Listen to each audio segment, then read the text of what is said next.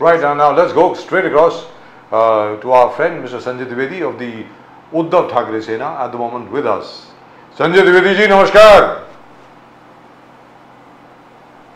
जय श्री श्री राम जय महादेव जय सिया राम हर हर महादेव हर महादेव तो संजय द्विवेदी जी गांधी जी को तो कोई जानता ही नहीं था हिंदुस्तान में जब तक गांधी जी पे पिक्चर नहीं बनी तब तक गांधी जी को तो कोई जानता ही नहीं था। और मोदी जी जो है वो बायोलॉजिकली पैदा नहीं तो हुए। सर मोदी जी बायोलॉजिकली पैदा नहीं हुए। और आज की तारीख में मोदी जी जो है बिल्कुल मेडिटेशन कर रहे हैं। आपकी और मेरी और प्रदीप जी की सुखद ज़िंदगी के लिए। 2019 चुनाव में जीते 2024 तक हमको क्या सिस्टम कैसे महँगाई कम करें कैसे बेरोजगारी कम करें जीएसटी जो इतना ज़्यादा बढ़ा दिया इस पर सोचना चाहिए था ना। आप मेरे से हम दो हज़ार सैतालीस विकसित भारत दो हज़ार सैतालीस की हम बात कर रहे हैं। अभी तो आपको दो हज़ार उनतीस की बात करनी चाहिए थी ना दो हज़ार चौबीस चुनाव चल रहे हैं अगर आपको बात करनी थी इस देश का नागरिक को दो हज़ार उनतीस तक आप क्या क्या सुविधाएँ देंगे? सर वो तो एक हज़ार साल आगे की बात कर रहे हैं। अंग्रेज- वो तो एक हज़ार साल आगे की बात कर रहे हैं। अंग्रेज़ तो तो कह रहे हैं ना एक हज़ार साल आगे की बात कर रहे हैं, बड़ा समस्या उनके साथ में।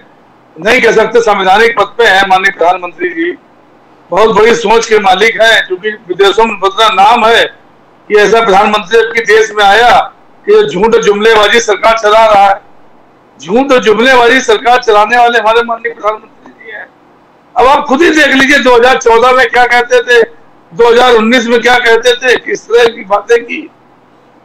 महँगाई की महँगाई की मार आपकी मोदी सरकार, भ्रष्टाचार, महँगाई की मार आपकी मोदी सरकार। तो नारे अपने खुद उन्होंने लगाए। ये हम लोगों ने नहीं लगाए। उन्होंने नारे लगाए। महँगाई स्थिति क्या है? बेरोजगारी स्थिति क्या है?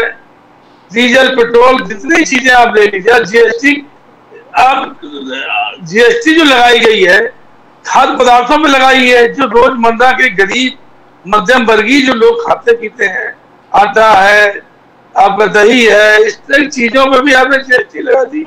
और वो भी अट्ठाईस बाकी चीज़ों पे अट्ठाईस परसेंट जीएसटी आज आप कार लेने जाइए, मोटरसाइकिल लेने जाइए, कोई भी सामान लेने जाइए, जितनी कीमत रही, मैं अभी कीमत देख रहा था उस पर जितनी कीमत रही, उससे ज़्यादा जीएसटी लग रही है।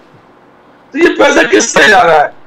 ये आम गरीब आदमी पैसा जा रहा है, मध्यम वर्गीय जेब से पैसा जा रहा है, ये बहुत दुखद है। इस, इसकी मैं बहुत निंदा करता हूँ।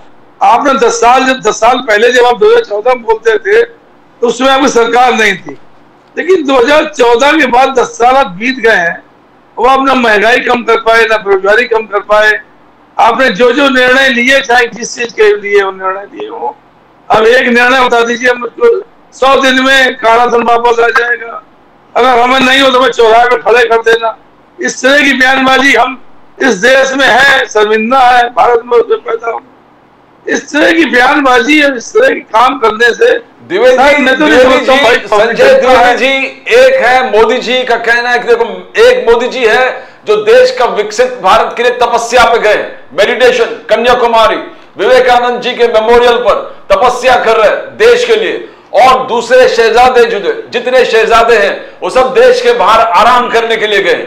कोई लंदन गया है, कोई लंदन जाने वाला है, चाहे वो यूपी के शहजादे हो, कोई बिहार के शहजादे हो, महाराष्ट्र के महाराष्ट्र के उद्धव जी शायद लंदन गए तो मोदी जी का क्या मेरा संकल्प देखिए, मेरा जो इंटीग्रिटी टूवर्ड्स द नेशन देखिए, मेरा जो आचार विचार देखिए, देश के लिए समर्पित है, विकसित भारत के लिए समर्पित है।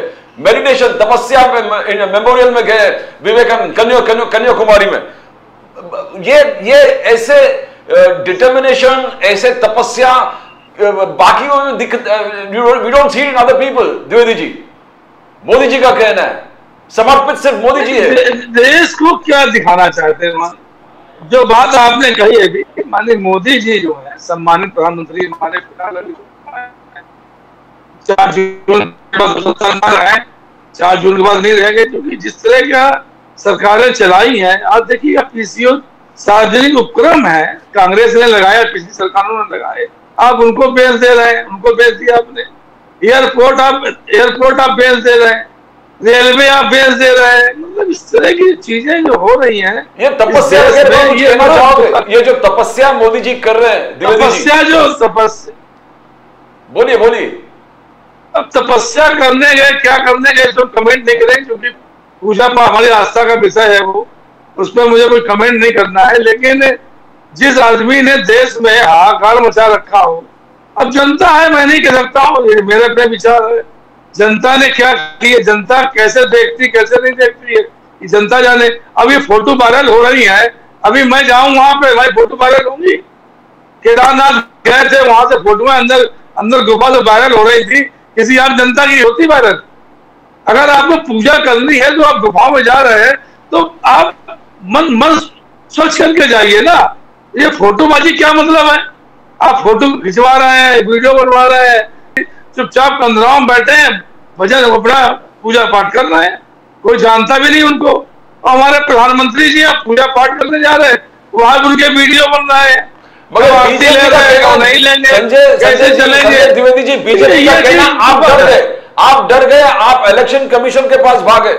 आप इलेक्शन कमीशन में कंप्लेन किए। आपने कहा कि इस चीज़ को रोकिए। ये मेडिटेशन इस वक्त तपस्या इस वक्त चुनाव के बीच में सही नहीं है। इलेक्शन कमीशन को इसको रोकना पड़ेगा। आगे आपने कहा मीडिया को रोकिए। मीडिया इसको पब्लिसिटी देगी जी- कवरेज को रोकिए।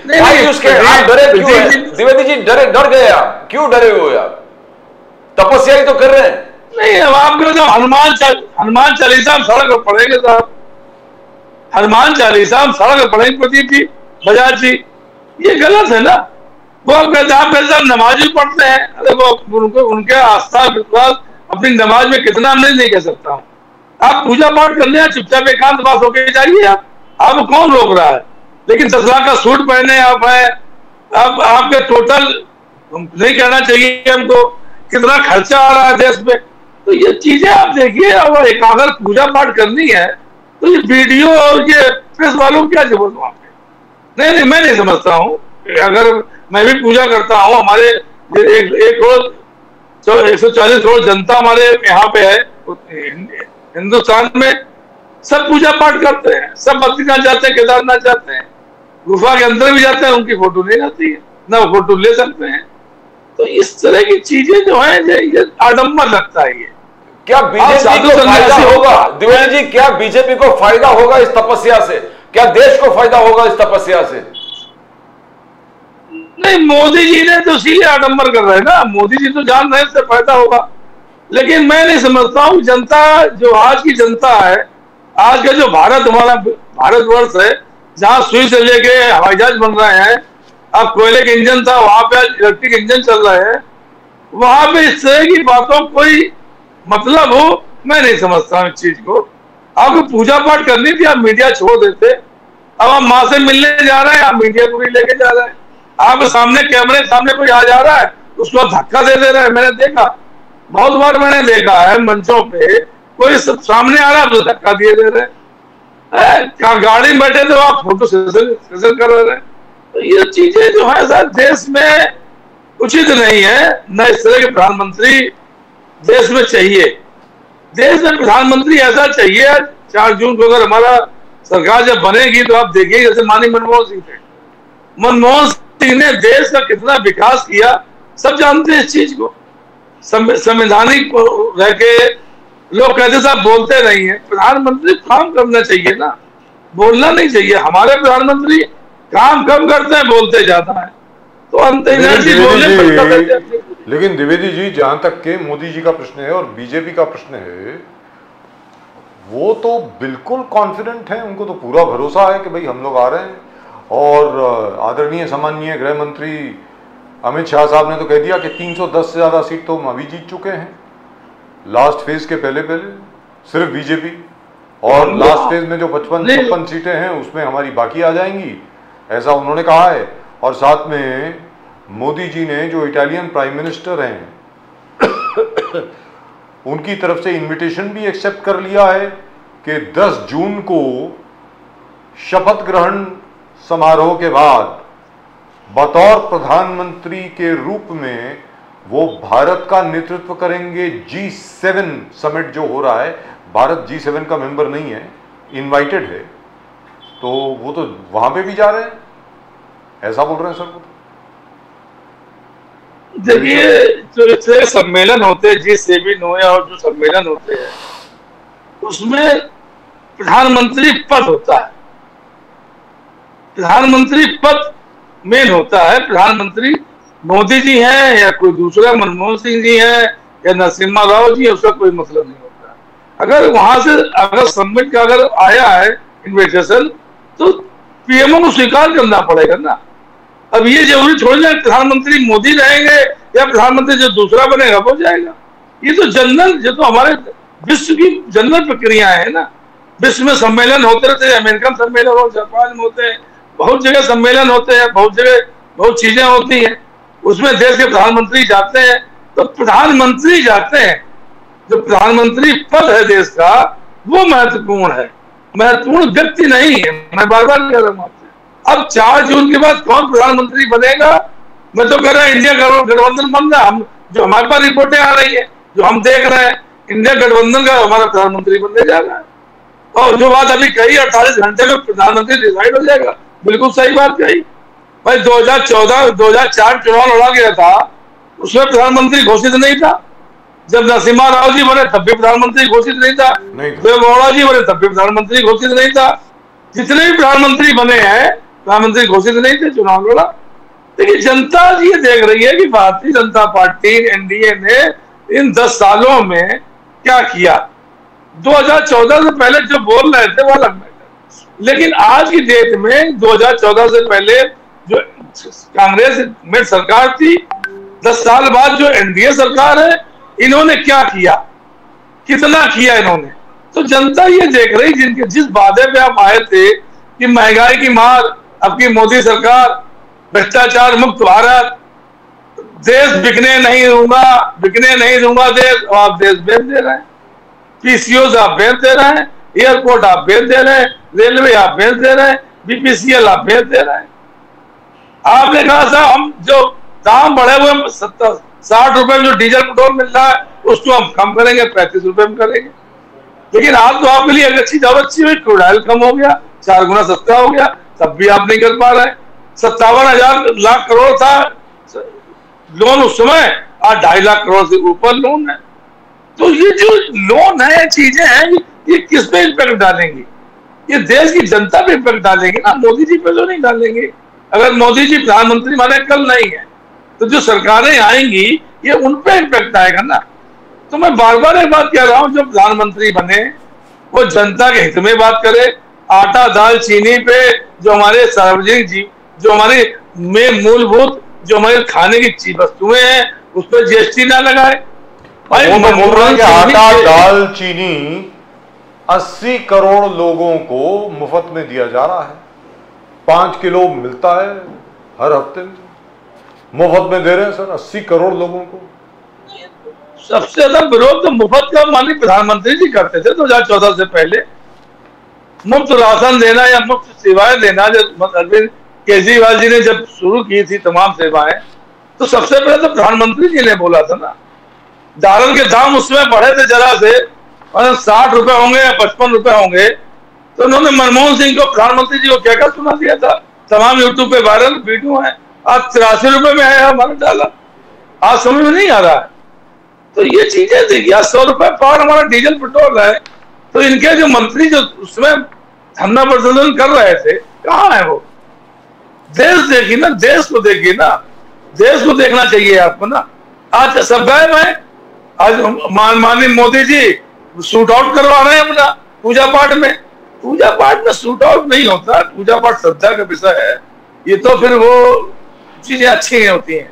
हम तो कहते हैं श्रद्धा का विषय है, आस्था का विषय होता है पूजा पाठ। उसको इस तरह से नहीं सार्वजनिक करना चाहिए वो सच बात है।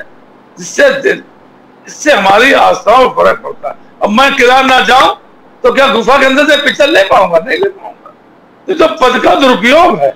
आप गए प्रधानमंत्री जी नहीं आपने वो गुफा देखी है। हाँ मैं गया हूँ नहीं जिस जिस जिस केदारनाथ में गया हूँ। मैंने जिस गुफा में प्रधानमंत्री जी की तस्वीर ली गई थी तीन के चार साल पहले वो गए थे वो जो एक मैं गया हूँ टिबेटन कम्बल अम्बल जो उसमें झुक के जाना पड़ता है। उस गुफा में झुक के झुक के जाना पड़ता है। कर, कर्मण नीचे बैठ के जाना पड़ता है। तब हम जा पाते हैं उसमें। तो बात इसकी नहीं है लेकिन हम फ़ोटो नहीं ले सकते ना। तो ये तो मैं आज एक बात जनता से कहूँगा ये तो माननीय प्रधानमंत्री जी अपने पद का दुरुपयोग कर रहे हैं। जब जनता के लिए वो वीडियो नहीं बन सकता है तो माननीय प्रधानमंत्री जी के लिए कैसे बन सकता है? क्योंकि माननीय प्रधानमंत्री जी को तो जनता ने बनाया ना। स्वयंभू नेता थोड़ी ना है राजा थोड़ी ना है। वो तो कहते हैं वो तो स्वयंभू है। वो तो तो कहते हैं स्वयंभू है तो जनता बना रही ना उनको। सर नहीं तो जनता बना रही ना। सर बजाज जी बजाज जी बजाज जी गलत बोल रहे हैं वो। गलत बोल रहे हैं जनता का जनता का जनता का विश्वास खत्म कर रहे हैं अपने ऊपर जनता की भावनाओं को ठेस पहुँचा रहे हैं। जनता ने चुन के भेजा। सांसद जनता चुन के भेज रही है प्रधानमंत्री आपने चुना किसको चुना? मोदी जी को चुना किसको चुना वो अलग बात है।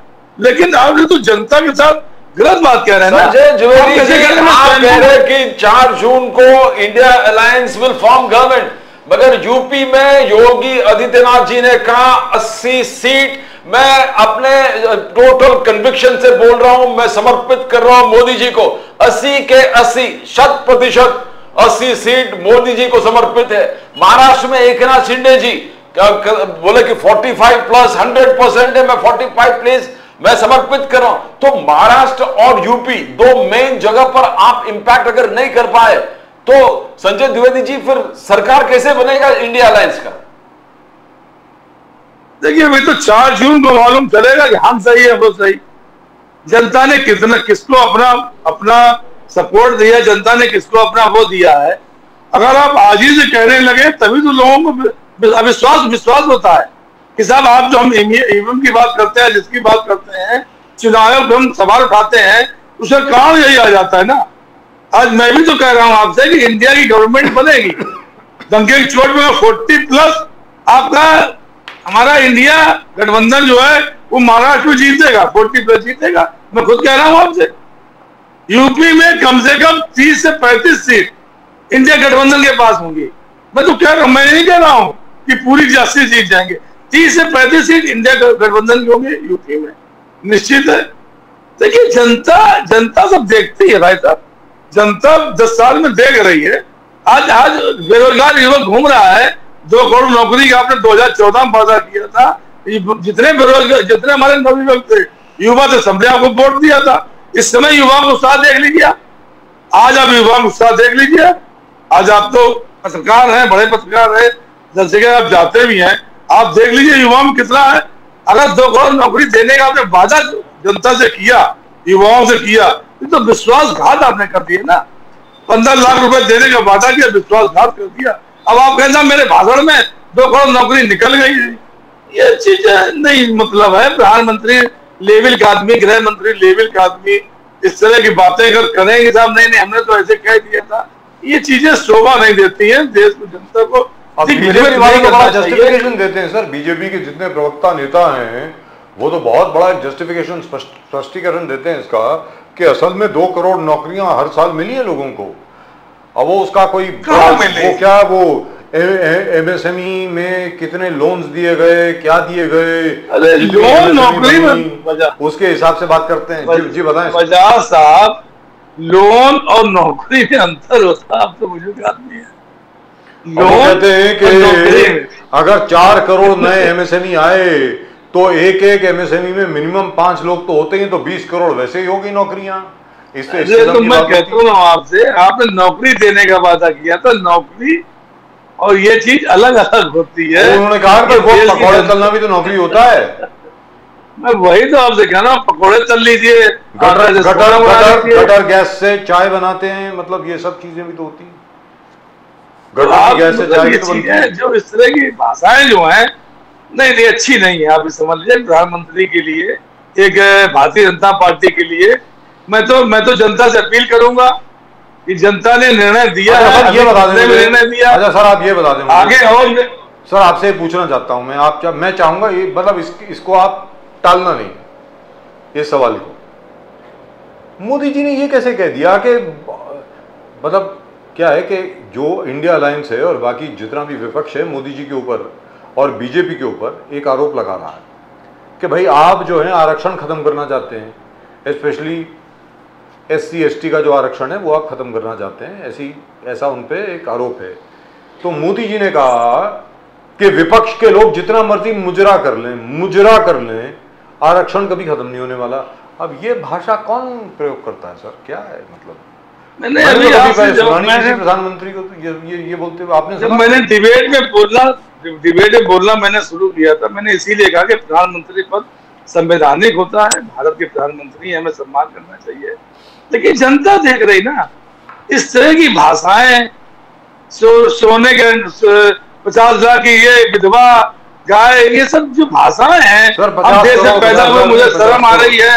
तो ये 50 चीज़ें ये चीज़ें जो हैं ये चीज़ें मेरे समझ बजाज साहब उचित नहीं है प्रधानमंत्री के से मुजरा करने की बात कर रहे हैं। क्या मतलब इसका? अब बताइए अब आप कहीं कुछ कह रहे हैं लेकिन कहीं कुछ कह रहे हैं आप बताए ना अपना विश्लेषण दें। इसके पीछे क्या मानसिकता हो सकती है, क्या मंशा हो सकती है? क्योंकि मतलब मोदी जी के जितने एडवाइजर हैं साहब, वो तो बड़े पहुँचे हुए लोग हैं। बहुत अकलमंद लोग हैं, सर। मतलब कोई ऑर्डिनरी लोग नहीं है मतलब साधारण लोग नहीं है वो। देखिए बजाज जी जब जब आपके दिमाग में घमंड घुस जाए, घमंडी आप हो जाए, आप सोचे, मैं ताना साहब हूँ, मैं जो बोलूँगा, सही बोलूँगा। ये मैं उदाहरण दे रहा हूँ, आपने जो आपने पूछा अभी उसी कारण मैं कह रहा हूँ तो मुँह से ये बातें अपने आप निकलने लगती हैं। जब आप तानाशाही में आ जाते हैं तानाशाही का आप रिकॉर्ड देख लीजिए जाना ताना साहब बैठे हुए थे जाना ताना साहब थे उन्होंने जो कह दिया सही कह दिया और जब घमंड आ जाता आपको आप भगवान से अपने को ऊपर समझने लगते हैं। जनता से आप ऊपर समझने लगते हैं। जनता आपके लिए दिखाई नहीं पड़ती आपको। सबसे बड़ी बात है जनता आपको नहीं दिखाई पड़ती है। उसमें आपको लगता है कि मैं आज बोल रहा हूँ तो मैं सब कुछ हूँ। मैं मैं मैं मैं। तो ये मैं शब्द है ना, ये बहुत कठिन है। जो मैं समझ रहा हूँ, जो आपने कहा विश्लेषण करिए, मैं समझ रहा हूँ ये दो तीन पॉइंट है, घमंड आ गया उनको। हम कुछ भी बोलेंगे, जनता हमको वोट देगी। अहंकार में डूबे हुए हैं, लिप्त हैं बिल्कुल।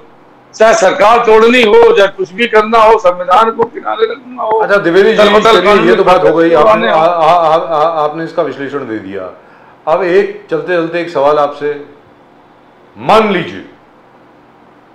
आपको बोल रहा हूँ जरा सोचिए इसके बारे में। द्विवेदी जी मान लीजिए मोदी जी वापस आ जाते हैं साढ़े तीन सौ सीट लेकर के। I am sorry I was talking mister Sanjay Dwivedi I think Yes. mixed up, mixed it up. जी द्विवेदी साहब मान लीजिए अगर मोदी जीत गए तो? मोदी जी जीत जाए या मोदी जी दस साल से दस साल से मोदी जी हैं इससे पहले साठ साल तक कांग्रेस सरकारें रही तमाम प्रधानमंत्री बने। जनता ये तो जनता का निर्णय है ना। इस पे तो ना हम क्योंकि मैं जान करके सवाल पूछ रहा हूँ कि बजाज साहब इस पे तो कोई इफ़ेक्ट बट होनी नहीं चाहिए आप समझिए मेरी बात। इसमें तो इफ़ेक्ट जनता किसको चुनती है? जनता का अपना वो है। अब उसमें चाहे ईवीएम में अब जो बात अभी कहते मैं कहना चाह रहा हूँ आप चाहे जैसे भी जीते हो। जो जो जीत जाता है जब सौ वोट जीता है जब पचास वोट जीता है वो जीता कहलाता है ना। ये नहीं होता था आप पचास वोट जीते जीता कहलाता। कैसे आप जीते कैसे नहीं जीते? लेकिन आप जीत गए। चलिए सर आपने सरकार बना ली। द्विवेदी जी आपने सरकार नहीं एक सेकंड और दीजिए। दस से दस सेकंड दस सेकंड। दस सेकंड क्या तीस सेकंड ले लीजिए? दस-। सेकंड और दीजिए। बोलिए बोलिए बोलिए। प्लीज़ प्लीज़ दस सेकंड। प्लीज़ प्लीज़ अब आपने पहले मध्य प्रदेश सरकार तोड़ी विधायकों सीपा दिलवा के फिर महाराष्ट्र में तोड़ी कर्नाटक में तोड़ी उत्तराखंड में तोड़ी। अब इसमें इम्पेलमेंट नहीं है आपने तोड़ ली सरकार बना ली जयराम जी की?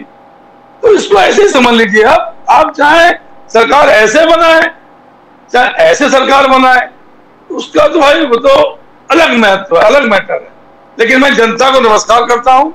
जनता बिल्कुल सही निर्णय देगी। जनता सोच समझ के निर्णय देगी। जनता को खुद चाहिए कैसे, कौन सरकार होनी चाहिए कि जो 2014 से पहले जनता ने देखा, जनता ने काम देखे, जनता ने डीजल, पेट्रोल की महँगाई देखी। 2014 के बाद क्या उसमें रिस्पांस आया कि जनता देखना चाहे? मैं जनता के ऊपर जनता की बात कर रहा हूँ। थैंक यू सो जय मच सिया राम। हर हर महादेव। सर जय सिया राम जय Siya Ram thank you sir Well, I tell you what, there, there is a wind blowing. Let, let me tell you this, Pradeep ji. क्या है? हवा थोड़ी बदली। और वो उद्धव ठाकरे जी के पक्ष में जा रही है। Let me tell you very frankly because there is a sympathy wave for mister Uddhav Thackeray as far as I'm concerned. Now, I, you may not agree with me, but I, let me tell you this. It's going to be very, very difficult for the BJP and its partners to, well, recreate the result or repeat the result of 2019. Because this time there is no Balakot. Balakot nahi hai, saab, is baar. Yaad rakh lijiye.